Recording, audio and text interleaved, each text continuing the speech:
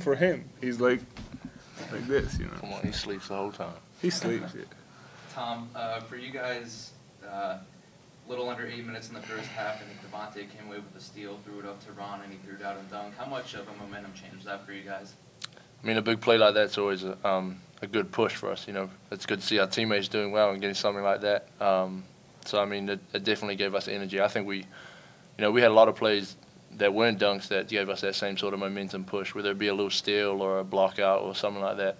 We get the same momentum from all those good little plays. And Dimitri, for you, uh, Yohanny kind of fell into some foul trouble. Did you feel like you had to kind of step up and take a bigger role? It's it's always interchangeable, you know.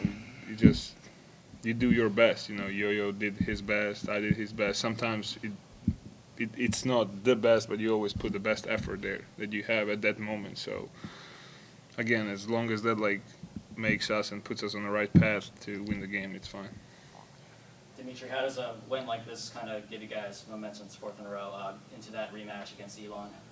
Um, I I uh, I'm excited to go with my team and play play there, uh, especially their court. Uh, it's like kind of payback for us because uh, we made lots of mistakes and we did not execute things that uh, coaches wanted from us that game when we play here, Elon. And i re- I'm really looking forward. Um, to step up with my teammates and uh, try to fix all those mistakes that we made at previous game.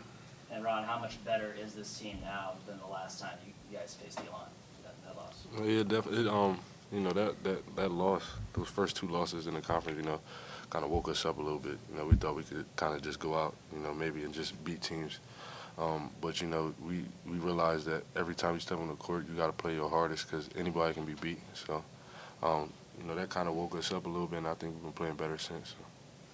So. Thanks, guys.